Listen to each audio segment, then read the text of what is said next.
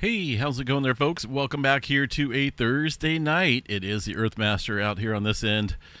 April 11th, 2024. It's about 10:44 p.m. here, California time. Latest activity shows a looks like a 1.9 over here across California. That is the latest clo- uh, latest quake there on the globe.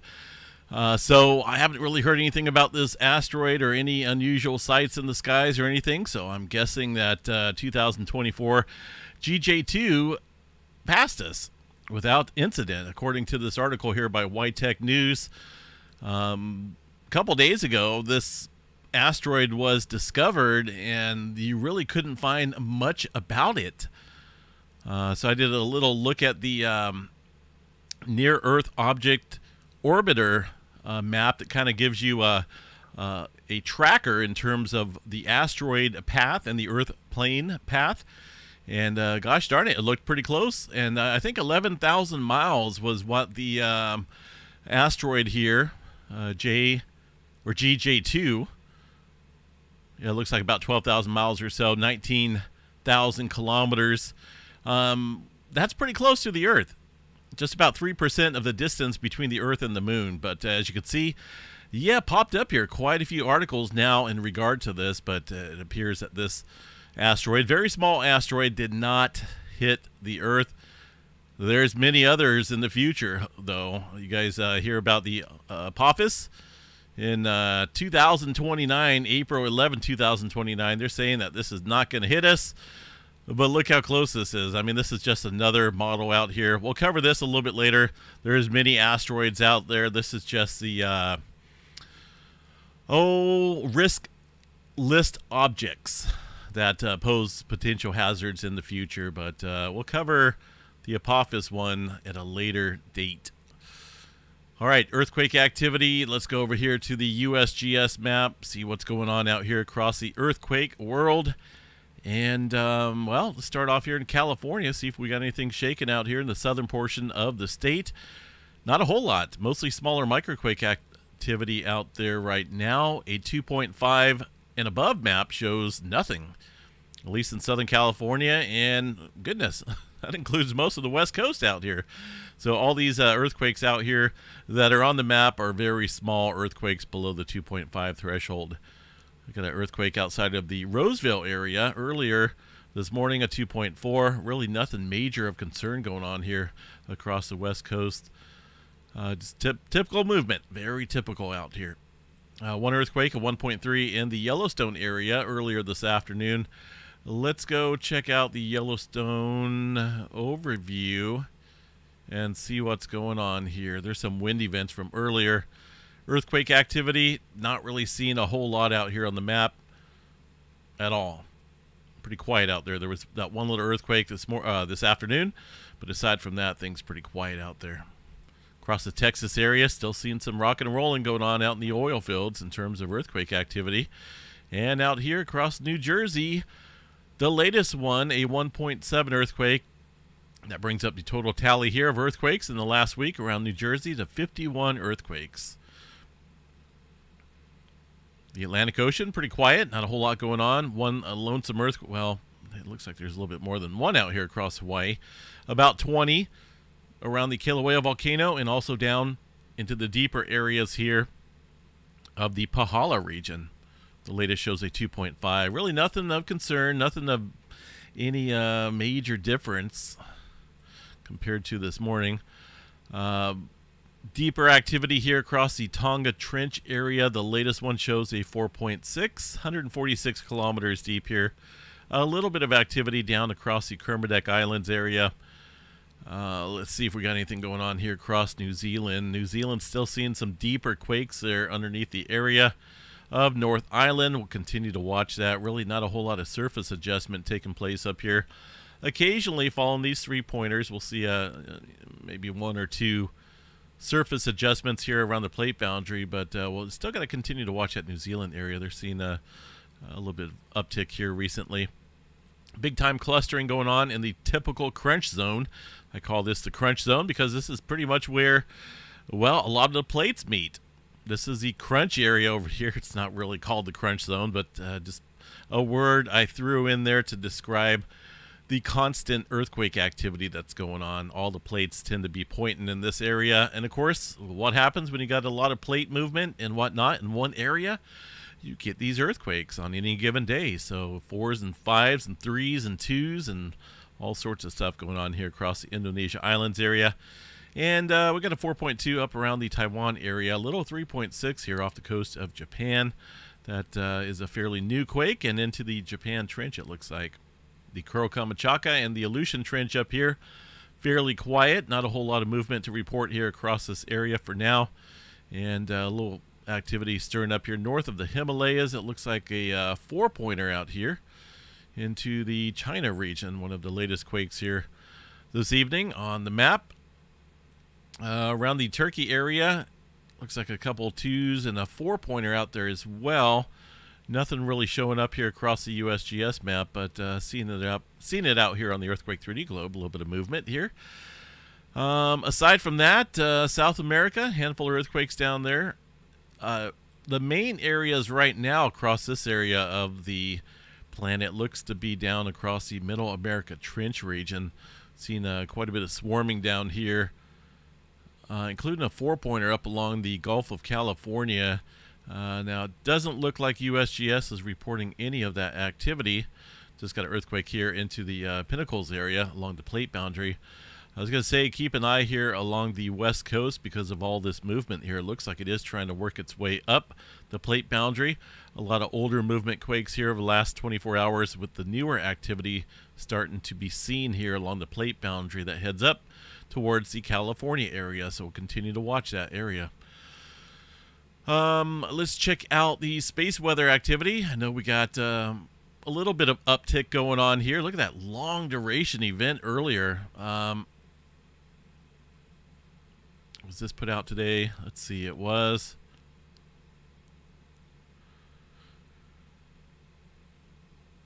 Looks like an apparent eruption was observed beyond the northeastern limb from old region 3615. So the elevated activity that I'm seeing here, uh, there's a, a, quick impulsive M flare from um, earlier, but look at this long duration event here.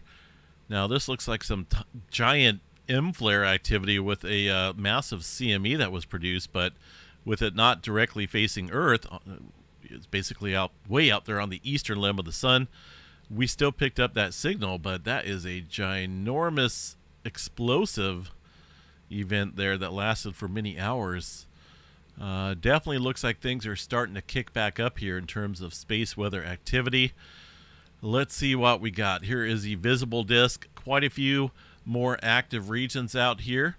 A look at the magnetogram image of the sunspots uh, this one over here looks like it's starting to grow a little bit now that it's starting to go off on the western limb. Goodness. And we're left with uh, a few sunspots here kind of trailing across the eastern limb. Uh, 36 15. Let's see where those sunspots are at. The uh, far side sunspots. Got to go down here and check it out. 3615 over here bring up the most recent image here. 3615 3614 up here. Definitely this spot right here is looking promising here. It looks like we may be seeing kind of hard to tell maybe a, another active region ahead of this one on the southeastern limb of the sun. Got to watch this spot. This is the one that produced many M flares here uh, weeks ago while it was facing the earth it's coming back around the bend again for another trip, and it does look like it's holding steady in terms of the size of it. Uh, we'll get a better look here at the complexity of that sunspot once it comes back around the bend. This is one of the newer regions here. It looks like maybe barely we can see a hint of it out there. We'll probably get a little bit better view tomorrow sometime. But uh, either way, elevated space weather activity here in the uh, days ahead, it looks like. 80% chance for C flare, M flare 25% chance, and X flare around 1% or so for now. Uh, the most complex sunspot out there is going to be 3634 with a beta gamma delta uh, beta gamma class. 3634 is going to be this area up here, and yeah, a little bit of complexity going on here. We got a couple more regions behind that area that uh, need some watching as well. Not a whole lot of auroras in the forecast here, folks. Hopefully that will change as we look into uh, you know the days ahead here. Yeah, Kevin's got this marked here. Uh, former sunspot 3615, barely visible out here. There's that northeastern limb eruption from uh, I believe that's 3614, one of the uh, former sunspots. Either way, going to get interesting out here in the days ahead. All right, uh, severe weather. We got anything major going on out here? This is a current uh, activity. Looks like a little thunderstorm activity out here for the um, overnight hours and early morning hours out here for the Friday. Not quite Friday out here in California but for those folks, it is. And um, looking out into the forecast here, day five still looks like this could be a serious event here for severe weather. Uh, this is the uh, typical tornado alley, right? It seems like mostly past couple years or so, the to- tornado alley has kind of shifted down to the southeast, but this is a, a very good uh, region right here where the uh, typical tornado alley used to be anyway. I think it still is, but uh, that's a going to be an interesting setup here. They're looking at a 30% chance for some severe weather out here, and this is only on day five. That's going to be Monday into Tuesday, with an overnight component to it as well. So a little on the uh, scary side there for some severe weather, but we'll check that out as we get a little bit closer to that date. There's the low pressure system off on the east right now.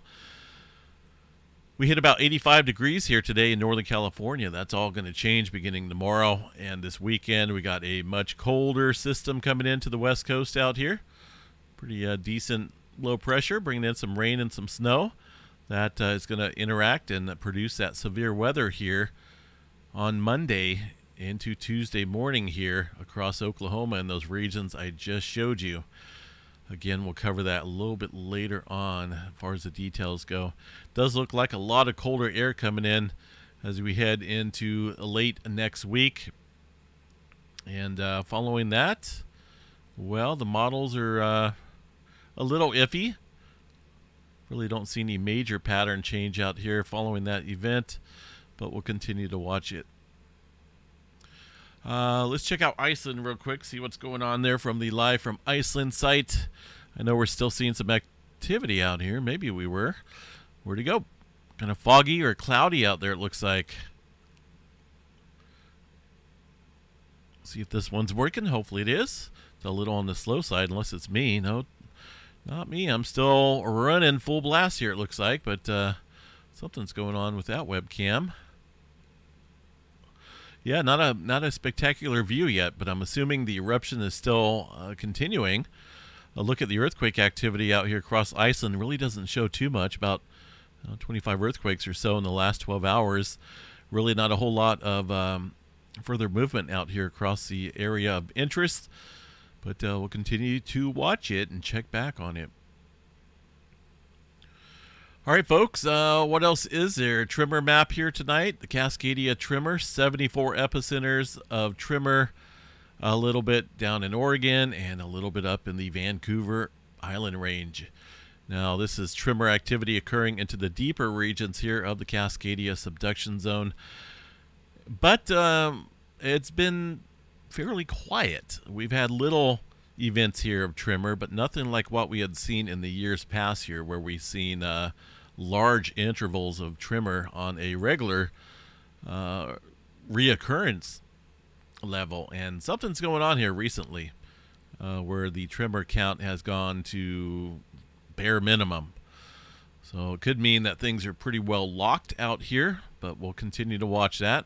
Of course, the Cascadia subduction zone here a major player out here one day uh, when it comes to the potential damage that's going to take place here across the Pacific Northwest uh, when that thing produces a 9.0 or greater earthquake.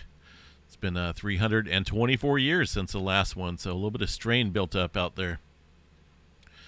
All right, folks, I'm out of here. Seismograph stations, fairly calm, fairly clear. Uh, make sure you guys subscribe while you're here welcome to uh, picked up a lot of new subscribers here recently so welcome on to the channel Hopefully, you guys stick around, give the video a thumbs up, and we'll catch you guys back out here tomorrow for Friday. Friday morning update coming up here after a little bit of sleep, of course. Have a good night, everyone.